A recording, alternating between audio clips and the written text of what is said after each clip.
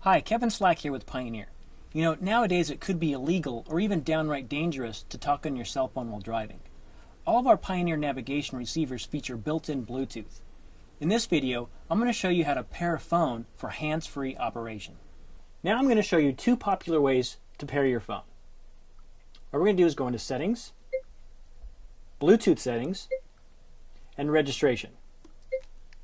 Doing it this way will search for your phone from the navigation unit. Once you see your phone on the list, simply press it to connect.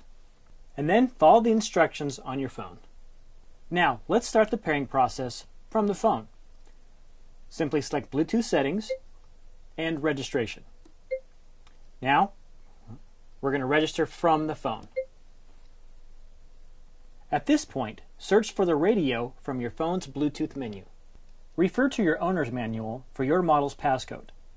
On the AVIC X920BT, the passcode is 1111. Once you see this message, all you have to do is press the OK button.